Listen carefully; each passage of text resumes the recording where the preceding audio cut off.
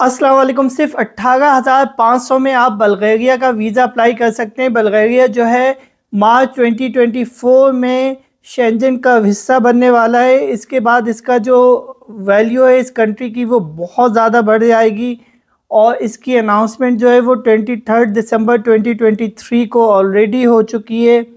तो ये बहुत इंपॉर्टेंट कंट्री बनने जा रहा है। इसकी एम्बेसी जो है, इस्लामाबाद में है। आप फ़ोन करके अपॉइंटमेंट बुक करा सकते हैं। वीज़ा फॉर्म बहुत ही सिंपल और आसान है। अभी आपको मैं वीडियो में दिखाऊँगा किस तरह से भरना है। स्टेप बाय स्टेप प्रोसेस है।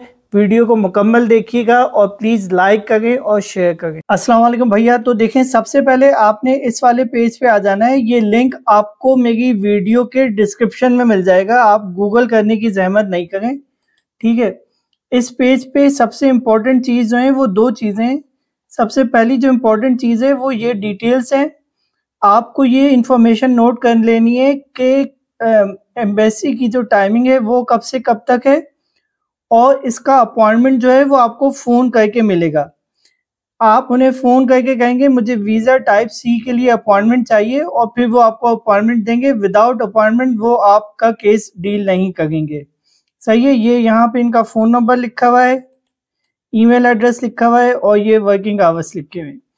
ये सबसे पहली इंपॉर्टेंट चीज़ हो गई। उसी के बाद फिर आप इस पेज पे यहाँ पे क्लिक करेंगे कौंसलर सर्विसेज़ में।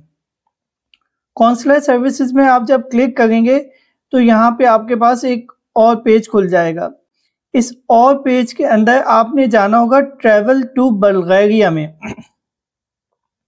और जब आप यहाँ पे क्लिक करेंगे तो एक और पेज खुल जाएगा और यहाँ पे आप अच्छा अब जब ये पेज खुल जाएगा तो इसमें आपने बिल्कुल नीचे जाना है। और ये देखें visa C for short stay for the purpose of transit और प्लान इंफॉर्मेशन और प्लान स्टे आपने यहाँ पे मोर इन्फॉर्मेशन पे क्लिक कर देना है। और ये वीज़ा सी के बारे में आपको इन्फॉर्मेशन मिल जाएगी टाइप सी वीज़ा के बारे में। ये बहुत ही सिंपल वीज़ा होता है सिक्स ये नाइन्टी डेज़ का होता है और इसमें आप कभी भी जाके रह सकते हैं वहाँ पे नाइन्टी डेज़ के लिए। और फिर बाकी जो डॉक्यूमेंट्स लगते हैं, आपका जो पासपोर्ट होता है, आपकी बैंक स्टेटमेंट होती है, वो सारी इंफॉर्मेशन है। ये देखिए, यहाँ पे इन्होंने लिखी है फिल एप्लीकेशन हो, अभी हम आपको फॉर्म भी दिखा देते हैं। तो ये तो आपको इंफॉर्मेशन मिल जाएगी।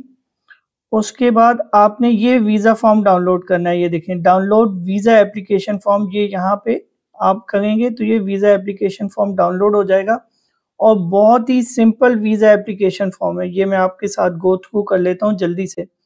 देखिए यहाँ पर जो है वो आपकी तस्वीर लग जाएगी, यहाँ पे आपने अपना नाम लिखना होगा सर नेम लिखना होगा, यहाँ पे आपने फ़र्स्ट नेम लिखना होगा, उसके बाद आपकी डेट ऑफ़ बर्थ, आप कहाँ पे पैदा हुए, आपका मुल्क कौन सा है, आपकी करंट नेशनैलिटी क्या है नेशनैलिटी एट बर्थ क्या थी, और आपकी जो डिटेल्स हैं कि आप मेल हैं फीमेल हैं, आप शादीशुदा हैं गैर शादीशुदा हैं, आपने कभी अपना नाम वगैरह तो नहीं चेंज करा है?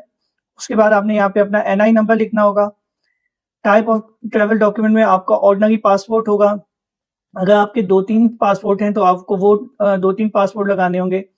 Application home address and email address अच्छा ये वो एड्रेस होगा जहाँ पे जिस मुल्क में आप रहते हैं। अगर आप पाकिस्तानी और सऊदी अरब में रहते हैं तो आपको सऊदी अरब का एड्रेस और फ़ोन नंबर देना होगा। तो अगर आप सऊदी अरब में रह गए तो आपने यहाँ पे लिखना होगा यस यहाँ पे आपके पास अगर इकामा है तो आपने अपना इकामा नंबर लिखना होगा और उसकी वैलिडिटी लिखनी होगी। वैलिडिटी कम से कम छह महीने तक होनी चाहिए। उसके बाद जो भी आपका ऑक्यूपेशन है, वो लिखना होगा। एम्प्लॉय का एड्रेस और उसका फ़ोन नंबर लिखना होगा। उसके बाद आपका मेन पर्पज़ जो है वो टूरिज़्म है तो वो आपको टूरिज़्म लिखना होगा। और आपने लिखना है कि बस मैं बल्गारिया जाऊँगा सिंगल एंट्री चाहिए आपको ड्यूरेशन ऑफ़ स्टे आप टू वीक्स का डाल सकते हैं। अगर आपके पास शेंजन वीज़ा है तो आपने यस करना है, अगर नहीं है तो आपने नो कर देना है। फिंगरप्रिंट्स भी अगर आप फ़र्स्ट टाइम जा गए तो कभी नहीं कलेक्ट हुए तो आपने नो कर देना है। इसमें भी आपने कुछ भी नॉट एप्लीकेबल कर देना है, क्योंकि आप सिर्फ़ एक ही जगह जा गए उसके बाद आपने डेट डालनी है, जिस दिन आप फॉर्म जमा करा गए उससे तकरीबन साठ दिन आगे की डेट होनी चाहिए। और ये डेट होनी चाहिए जिस दिन आप रिटर्न हो गए। और जिस दिन आप रिटर्न हो गए, उसके तीन महीने बाद तक आपका जो इकामा है, वो वैलिड होना चाहिए। ये बात आपने बहुत अच्छी तरह से समझनी है। अगर कोई आपको जानने वाला आपका दोस्त बुला गए तो उसकी आपने यहाँ पे डिटेल लिखनी है टेलीफोन नंबर लिखना है एड्रेस लिखना है। अगर कोई कंपनी आपको बुला गई है तो उसकी आपने यहाँ पे डिटेल लिखनी है।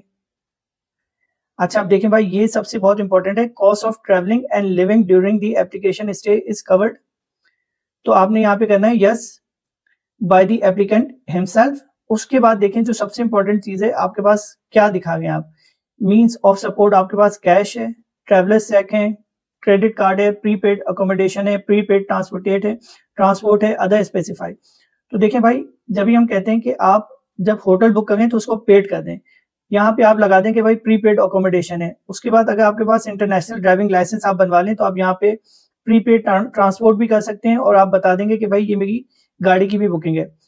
और दूसरी बात इंपॉर्टेंट कि भाई आप लोग क्रेडिट कार्ड इशू करवा लें बैंकों से, वो बहुत इंपॉर्टेंट होते हैं, वो आप यहाँ पे लगा सकते हैं कि भाई मेरे पास क्रेडिट कार्ड भी है, ये भी आपने चेक कर दिया। और अगर कैश है आपके पास तो वो भी दिखा दें। अब कैश का आप ऐसे हिसाब कर लें कि आप 50 से 100 यूरो पर डे के हिसाब से आप देख लें। अगर आप 10 दिन के लिए जाएँ तो आपके पास तकरीबन 500 से हज़ार यूरो होने चाहिए।